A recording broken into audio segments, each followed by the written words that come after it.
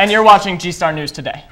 Please rise for the Pledge of Allegiance. Pledge allegiance to the flag of the United States of America and to the republic for which it stands, one nation, under God, indivisible, and liberty and justice for all.